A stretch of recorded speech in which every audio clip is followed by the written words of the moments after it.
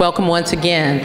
I want you to join me in 2016 on the BlackSuccessAcademy.com network.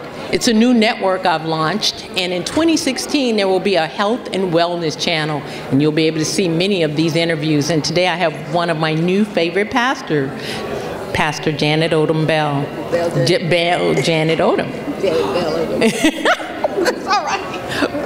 Doc- Pastor Odom, how about that? I call you what I normally call you. That works.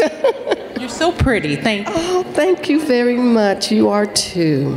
Thank you. You know, you shared your breast cancer story once with us, and it moved the church to tears.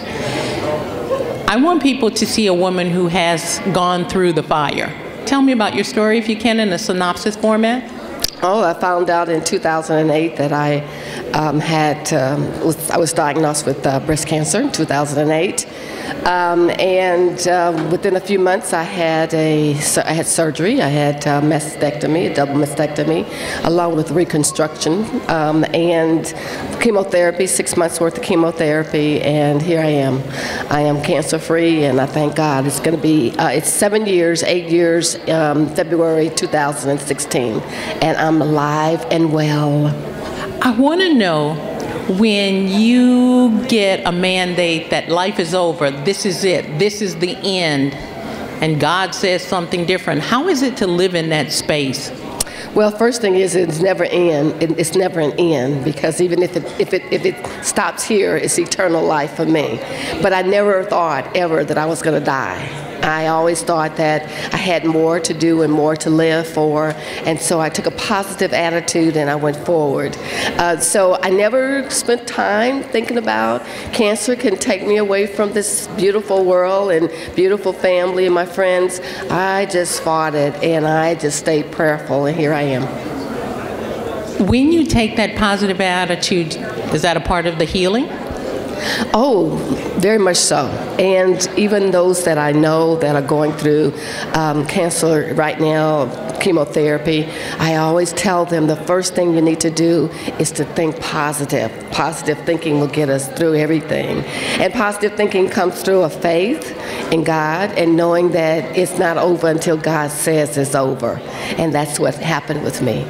You jumped ahead of me because I was going to ask you for some last words of inspiration. But truly, those people that are listening to this, that will be clicking on this, seeing this, and they have had these kinds and other kind of dis-ease diagnosis. Once again, would you give them some inspiration? Sure. Um, it is a dis-ease. It's not a disease. And, uh, you know, for a moment, sometimes we have to be uncomfortable in order to see God working in our lives. We say often that just give God something and God will show you that no one else can take care of except God. And you'll know that it works. And it was God. It was God that came into my life and, and took me where I was and carried me and held on to me. And because of my faith in the Lord, it's the only reason why I'm here today. I know that to be a fact. So I say to those that are struggling, stay positive, stay prayed up, get you know, get people around you that are positive as well as you're going through this because you don't need any distractions, any negative distractions, and just know that God loves us. What a prescription of health and wellness from Dr. Janet Bell Odom. I do know her name.